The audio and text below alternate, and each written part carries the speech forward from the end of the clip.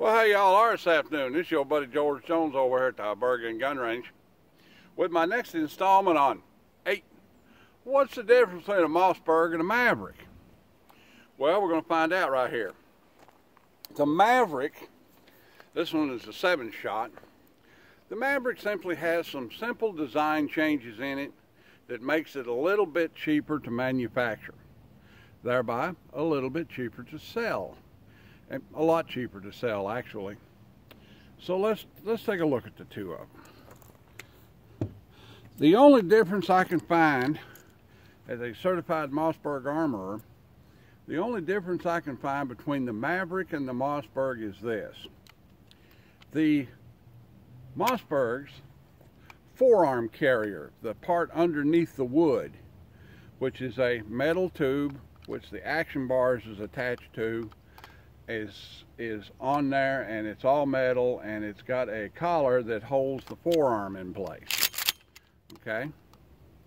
And that simply screws on there and tightens the forearm up on this metal piece that's underneath here. Uh,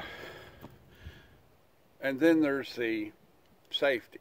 The safety's up here on top and this slot has to be milled in there and that piece that constitutes the safety inside of here that blocks the action, it's a milled piece of metal.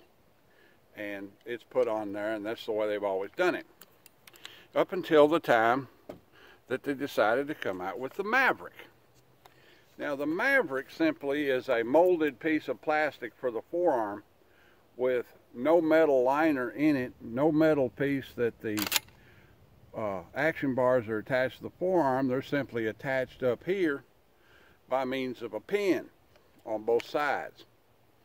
Now I've shot this gun extensively and I've shot a lot of Mavericks and I've seen a lot of Mavericks used in the field for everything from hunting to trap shooting to police use.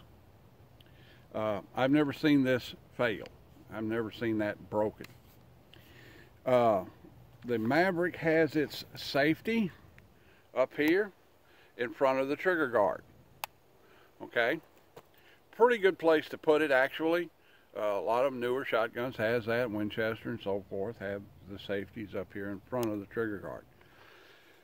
That omitted the need to, the process to mill out the place for the slide safety to go on the rear tang portion of the receiver, and it omitted the manufacturing of those internal parts, okay?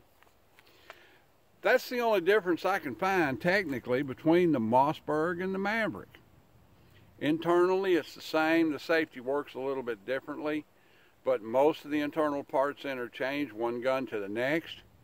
It's possible to take the safety mechanism out of that gun and then take the trigger group out of this one and put it in that one. uh, you know, it's possible to take this forearm and action bar assembly out and put it in the other one and make it work. Um, there's no there's no difference between the two other than those two uh, mechanisms that make the Maverick a little bit cheaper to manufacture. How much cheaper? Well, a Mossberg 500 Home Defender riot gun, which typically comes with a fixed stock and a pistol grip, is about 200 and oh, $99, 300 bucks, three and a quarter in that neighborhood. These guys with a conventional stock on them are about $210. So, you know, it's a 100 bucks cheaper. Any way you look at it, this gun, the Maverick, is a $100 cheaper. And I find no, no uh, mechanism why I could say that the Maverick is better than the Mossberg or the Mossberg is better than the Maverick. It's just they manufacture the Maverick a little bit cheaper in ways that it doesn't affect the performance of the gun. Uh, let's get some ear mufflers on and see how many uh, mini shells will fit in a seven shot Mossberger Maverick. We've got a bunch of them right here off camera and I'm going to go to chunking them in there.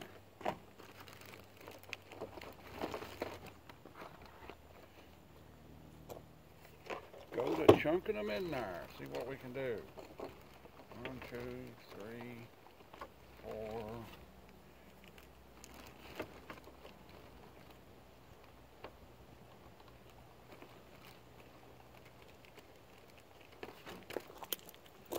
And it could have been a little bit better prepared and filled my pocket up ahead of time.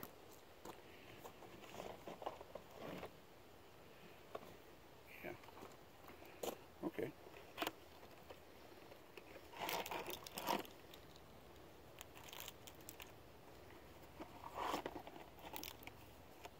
All right, let's see how many we can put in there. Let's give it a try here. These are number four buck, 15 pellet, one, two. Let's run one up in there. Three, four, five, six, seven, eight, nine, ten, eleven, twelve, thirteen. Looks like that's it, thirteen. 13. You put 13 in there with one in battery. So the magazine will hold 12 and then one in battery gives you 13. Hmm. You know, I hate to I hate to unload a gun manually. hate to unload a gun manually. Let's give it a try here.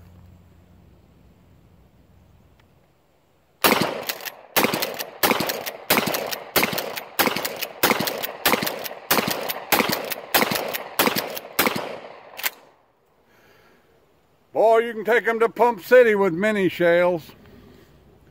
That was 13 rounds of 13 rounds of 15 pellet number four buck. Uh, you can really, ouch, that's kind of hot. that's not bad, that's not bad at all. the guy that invented this guy,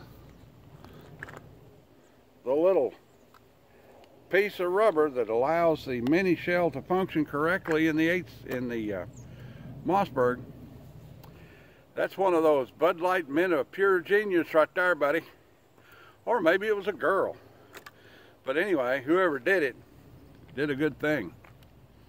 Well, that's about the size of it for the appreciable differences between the Mossberg and the Maverick. Uh, like, take, share, pie, commentate, and subscribe. Uh, leave me a little dollar in the Patreon bucket if you want to, and if you don't, I keep right on making content for you anyway. Uh, y'all have a uh, wonderful day, and we'll see you when we see you.